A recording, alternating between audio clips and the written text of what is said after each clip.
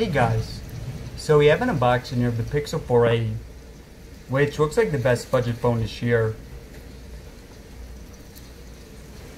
Alright, so this retails for 350 And we don't need a knife for it.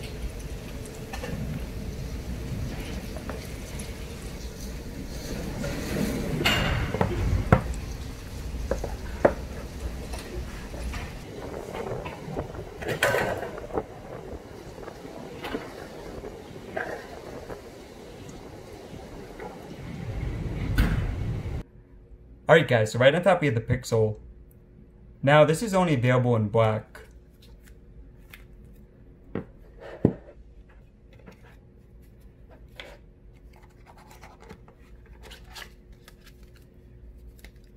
We also have your manual and SIM card ejector.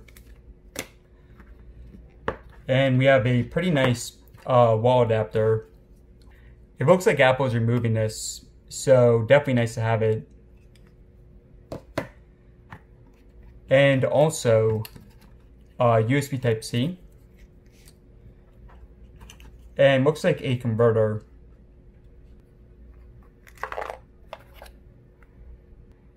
Yeah, we have a USB to Type-C converter. And we do not have a headphone jack adapter because this phone does have a headphone jack.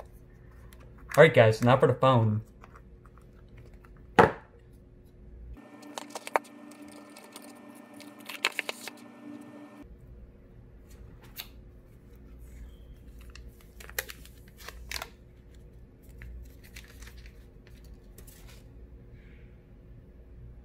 Alright, so this is a plastic build, but definitely a nicer form of plastic.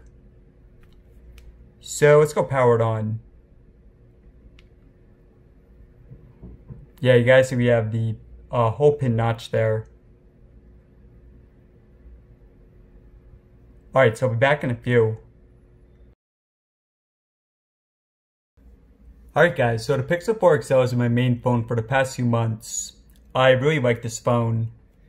The Pixel 4a is the same exact camera, which is extremely impressive given the price point. It's also my favorite camera for taking photos, so this does seem like a pretty excellent deal. Now that said, of course, besides the camera, um, the phone is not as good as the 4XL. So let's go over the specs real quick. Alright, so for the specs, now we have a 5.8 inch screen display, and it's only 60 hertz, so it definitely is not as smooth as 4XL, which is 90. But it's still pretty solid. Now at the top here, we have the 8MP camera. And on the back, we have the 12MP, which again is the same as the 4XL. And also the fingerprint. The design is also a lot better than last year's 3A,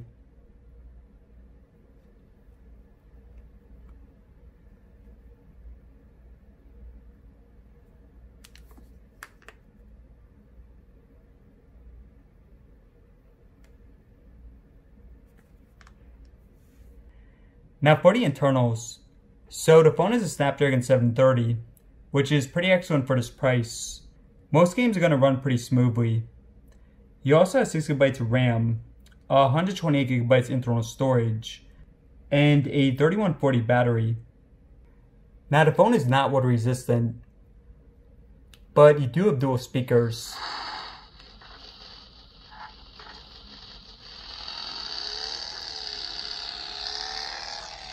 At the bottom you have Type-C.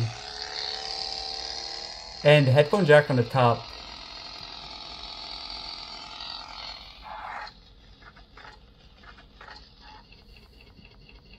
Now the phone is not a 5G, but there will be coming in a more expensive Pixel 4a later this year. So yeah guys, I mean all this for 350 seems like an excellent deal, but of course I have a lot of testing to do first, so stay tuned.